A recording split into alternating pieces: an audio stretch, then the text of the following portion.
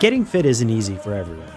Fitbit's made a lot of fitness trackers, aiming at everyone from the casual entry level to higher end athletics. It looks like their latest watch is aiming right at the middle. The Fitbit Versa is a smartwatch, Fitbit's second full app running watch after Fitbit's Ionic smartwatch debuted last year. The Ionic was expensive, angular, and full of features. The Versa runs the same apps as Fitbit Ionic. Fitbit's growing app and watch face collection feels a lot like what Pebble smartwatch used to have. Not a surprise since Fitbit acquired Pebble. At $200 or $230 for a special edition, it now undercuts the Apple Watch. It's also more compact than the 42mm Apple Watch and thinner. It's one of the lightest fitness smartwatches I've worn. Versa has almost all the Fitbit Ionic features minus GPS.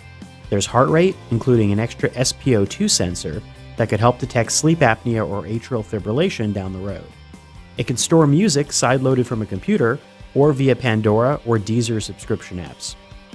It can be used for swimming with 50 meter water resistance. Wrist payments are optional.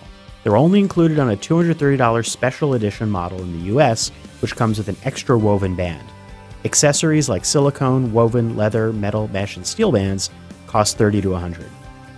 Fitbit software updates include more on wrist information on activity, workouts, and heart rate, and added women's health tracking for menstrual cycles and a family mode that can add kids to your account.